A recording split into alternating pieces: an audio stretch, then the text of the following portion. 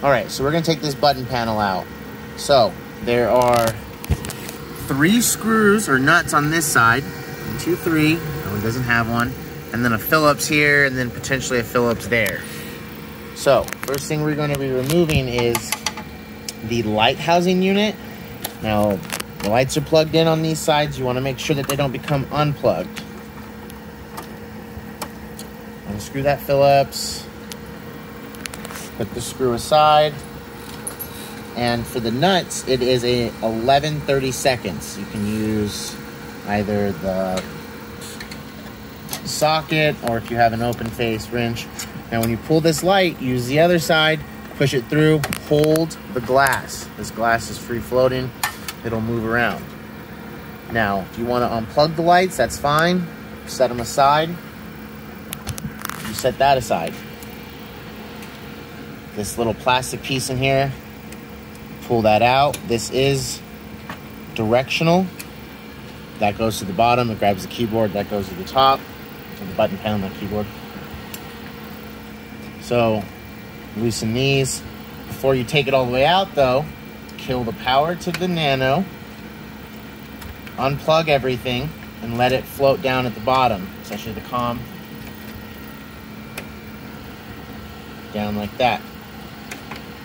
Now we can take these out.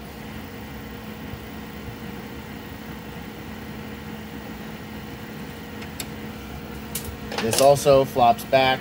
You might need to wiggle it around, get it off the screws.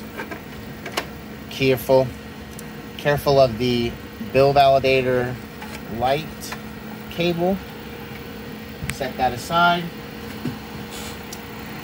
Now, some button panels are just going to slide in. This one is screwed in. It is the same 11 30 seconds with a washer. You just loosen them a little bit.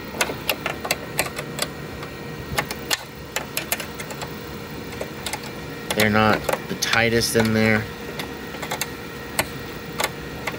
You want them to be tight when you put them back. This one has three, some might have more.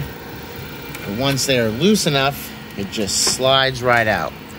Now, some of the other housings, button panels will have not these, but a track system that goes on each side.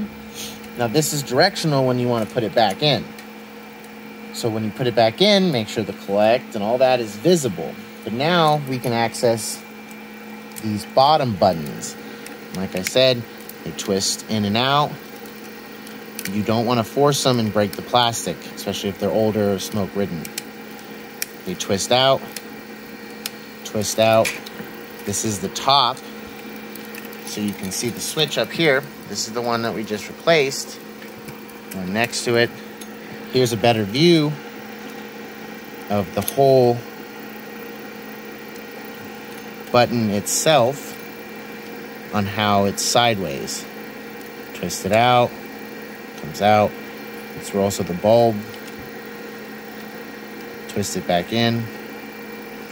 So now to put this back in, you want to make sure it's on lays flat on top. You see how there's little grooves right here, and then there's grooves on this piece too that it will fall into. So with these washers, you want to make sure it's loose enough that the washers go under. And that it actually goes on top of the grooves. And then you just tighten them down. Go until it's fairly tight and you don't have to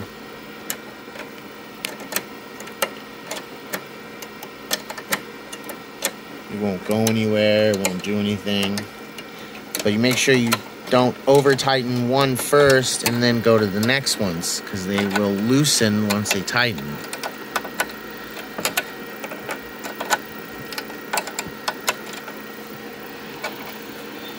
Make sure they're hand tight before you start this. You can also press down from the top. Okay now these can stay down that's fine The easiest one to put in first is the nano housing unit. Like I said before, watch out for this. But before you put it in, you can hook in the COM cable. It's a whole lot easier to hook up when it's not in there.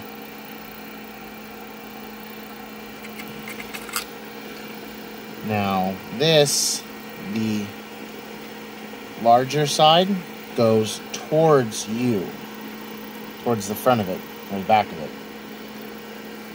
That slides in there. Make sure those cables are fine. Okay. This attaches here. These little hook things. Like I said, watch out for these cables. This has to go in front of it Make sure the screw all the way in the corner goes over if you need to use leverage to get it in there. This front piece moves with those, so you can push it against it, like this. And then put these on a little bit, don't tighten them yet.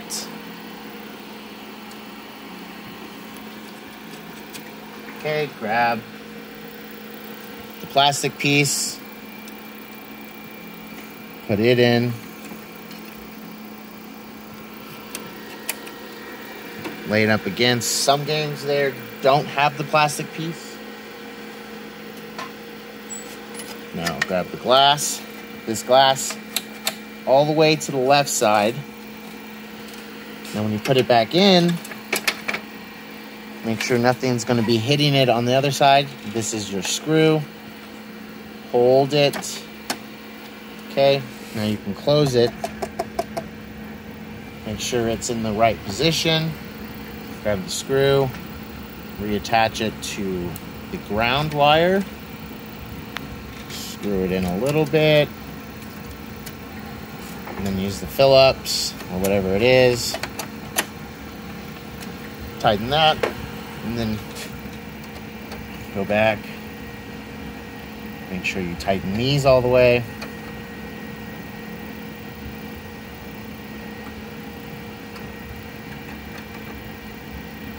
This is easier to use with a socket.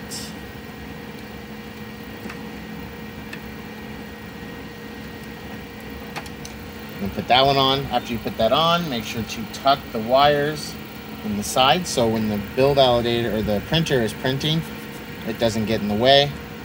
Reassemble. Replug everything back in on the Nano. Network and power. Make sure the wires are tucked back. Put back in the belly door switch. And if it has an excess cord, put it up here in the top and then try to put it underneath the plastic or zip tie it.